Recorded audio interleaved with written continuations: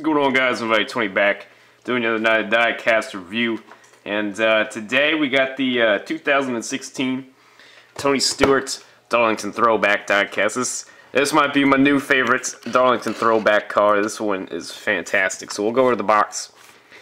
Got a picture of the car there. The top uh, is the standard Darlington Throwback box for this year. On the side here, Pull that back a little bit. There you go. Tony Stewart, uh, Coke Darlington, one of 2,233. Go ahead and uh, go over the car. Like I said, this uh, this might be my new favorite one. Man, this car is fantastic. Just the colors on this thing. Uh, it's, it's a beautiful car. I'll start from the front here. If I can get this thing focused in. There we go. Alright, so you got the nose there. 14 Stewart Haas there. Got the hood.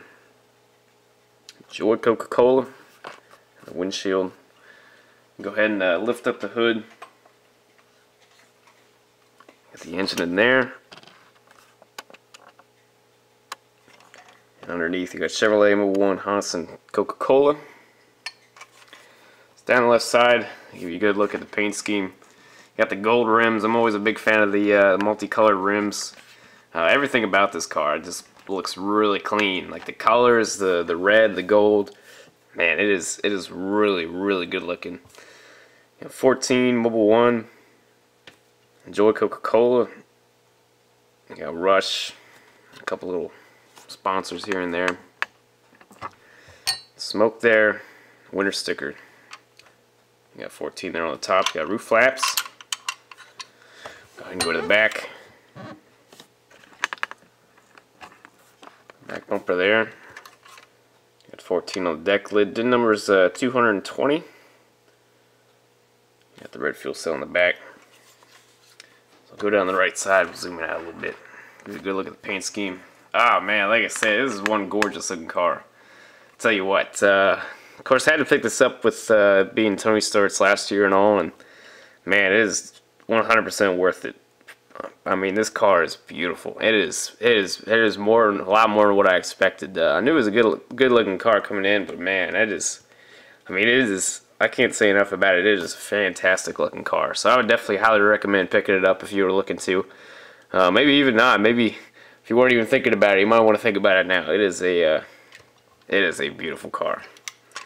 So there's the bottom of it.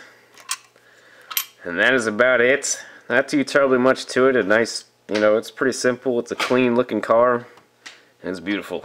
So, uh, so there it is. Appreciate you guys watching. Hope you all enjoyed. Uh, I got another one. Uh, this is one of the two from uh, from where I picked up at Farners. Uh, next, uh, next in line should be the second one I picked up is the uh, Brad Keselowski Darlington or not Darlington Daytona race version. So that should be coming up the next coming days. Also, uh, we should have our first 2017 coming in soon. Apparently, I wasn't expecting it to come in uh, this early, but uh, apparently Danica's uh, 2017 car uh, coming out. So uh, as soon as that comes in with the Farners, drive up there ASAP and hopefully get you guys a review of the first 2017 car. So there it is. Appreciate you guys. I'll see you all in the next video.